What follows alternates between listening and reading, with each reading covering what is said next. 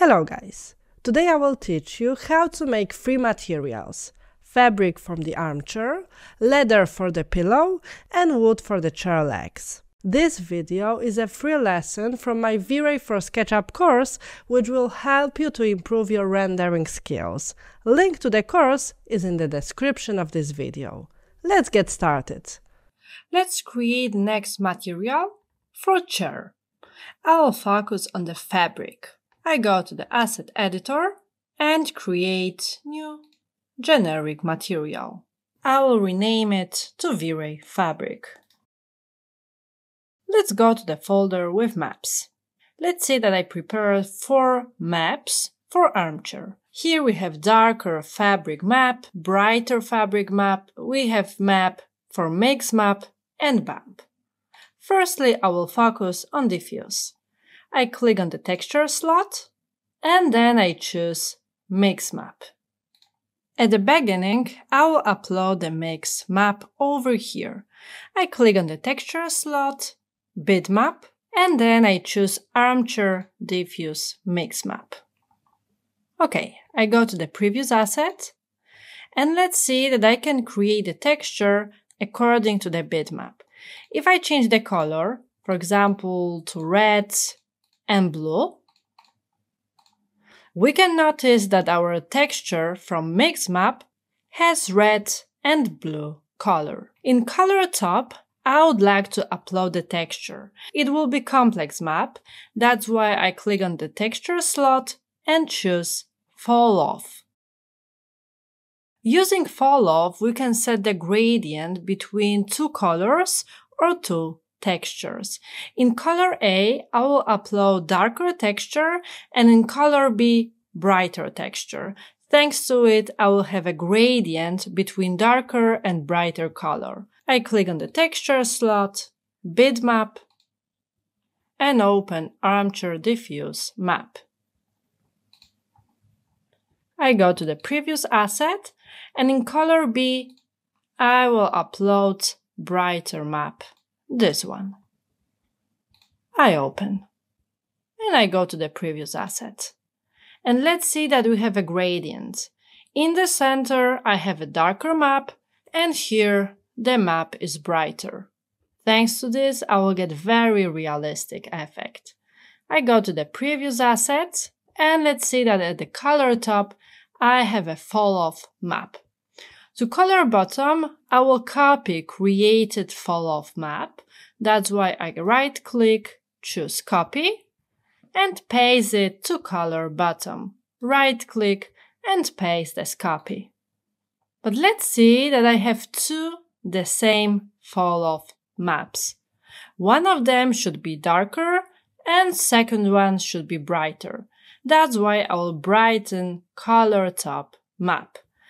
To do this, I will use color correction. That's why I right click, choose Wrap In and color correction. Thanks to this, I will brighten the fall off from color A. I go to the lightness mode, change the mode to gain gamma lift, and change the gain to 1.1 and gamma to 1.1. And our fall off map is a little bit brighter. I go to the previous asset and let's see that color top is brighter, color bottom is darker, and we can notice a little darker spots over here. Thanks to this, our material will be very realistic with darker and brighter parts. And I go to the previous asset. I will focus on a bump. That's why I expand this tab and upload texture I click on bitmap and choose armchair bump map. I open it. Remember, if you're uploading purple map, you should change color space to rendering space linear. And I go to the previous asset. Here I will change the mode map to normal map and I can increase or decrease this amount. I will set it to 0.2. Everything is done. I will apply this material to the armchair. I double click on it, I select this element and apply material. Okay, I come a little closer and I need to change the mapping. To do this, I go to the Edit tab and change the size. Let's check higher value. I think that 2540 centimeter looks fine. The render looks very realistic. We can notice some darker spots. That's why material has very high quality. Let's move on and create next material for the cloth. I go to the asset editor and create new material. It will be V-Ray blanket material. Let's upload the map to the diffuse tab, but remember that if you want to get realistic effect, we can use falloff map. It's over here. And now I would like to create gradient between two colors or two textures. Color A should be darker. That's why I upload the map blanket. This one will be darker material. I go to the previous asset and in color B, I upload the same map. This one will be lighter. I change the space to linear and I get brighter map. I go to the previous asset and I have a gradient between darker and brighter material. I go to the previous asset. I can change the preview. Just click on these three vertical dots and choose fabric. Let's see that the preview looks much better. Then I go to the bump tab and I will create a bump from the diffuse map. I click on the texture slot, choose bitmap, and then again, I will upload the same map. I go to the previous asset, but this time I will change the color using color correction. I right click on the texture slot, wrap in, and color correction. Firstly, I will desaturate the map. Now we have gray colors, and I will increase contrast. Let's say that the map looks much better for bump. I will decrease the intensity to 0.14. Mostly I said 0.1 or 0.2. I double click on the chair and apply material to the blanket. Let's change the dimension to 254 and it looks much better. Remember that we can fix mapping just click on this icon, triplanar projection world, and wait a second. Let's see that the mappings looks much better now. Okay, let's check the render. But before I do that, I think that this mapping from the armchair is too large. I click on the material icon over here, press left alt, and change the dimension. Let's try with 500 maybe 1000, 1500. Okay, I think that it looks much better now. And let's check the materials. I think that looks much better now. We have blank material and armchair material. It looks very nice. It's time to create material for the pillow. It will be leather material. I create this material from scratch, choose generic material, rename it to V-Ray Pillow, and apply Map for Diffuse tab. It will be Pillow Diffuse Map. This is simple leather material, but I would like to change the color of this pillow.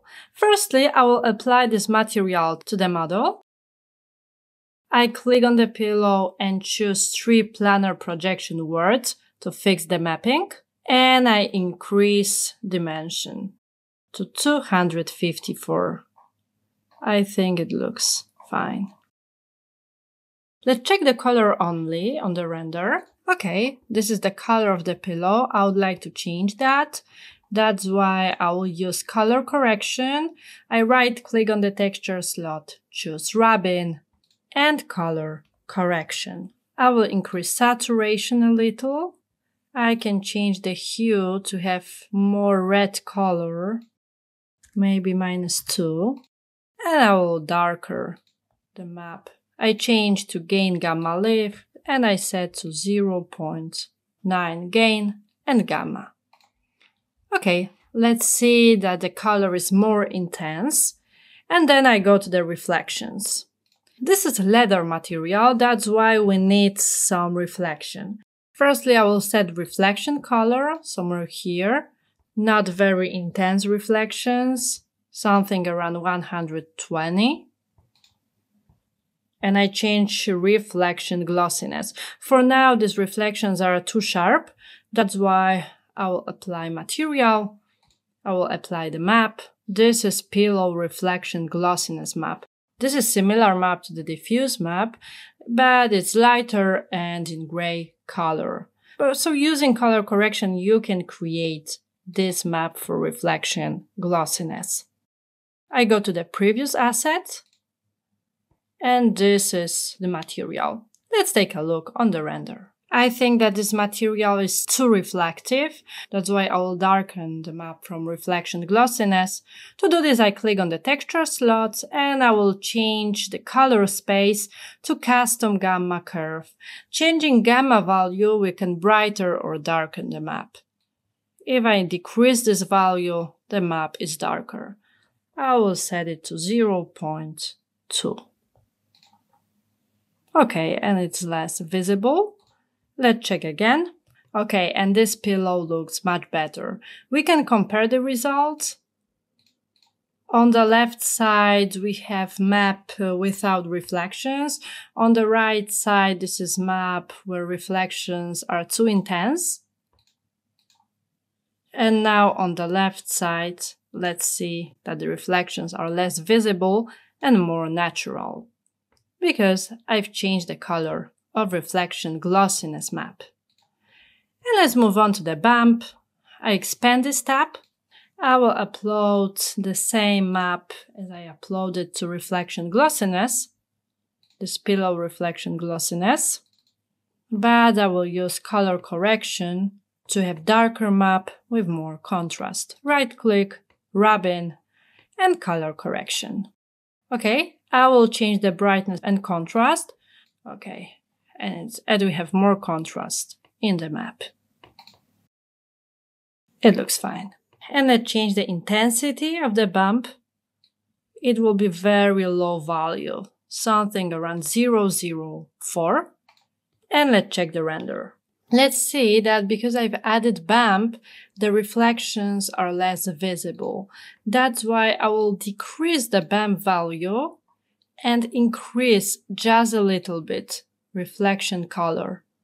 And let's render again. And it looks much better now. We can compare the results. On the right side, this is the final result. Reflections are visible, they are not too intense, we have a slight bump effect. Everything looks right.